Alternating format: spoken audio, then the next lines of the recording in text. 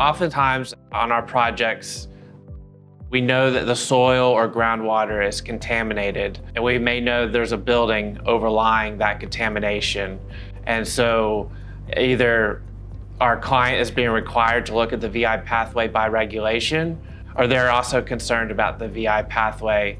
And so we can help them understand the VI pathway, possibly without even entering the building we could sample shallow groundwaters. We could put in a shallow well and sample groundwater at the top of the water table. We can also do near slab soil gas sampling. We can go into the building and collect soil gas samples under the slab. And we often do a bottom up approach. So first we look at groundwater, then into soil gas, uh, either near slab or sub slab before we even collect an indoor air sample. So once we've identified that a VOC is present in the indoor air due to vapor intrusion um, at a concentration that poses a, a, risk on the health and safety of the building occupants, then it's time for mitigation.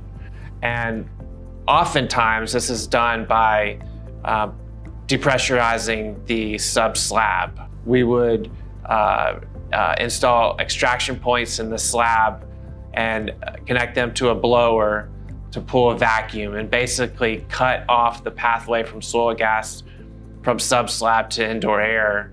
And our extraction points capture those volatile chemicals, route them sometimes through a treatment system, but then eventually to ambient air.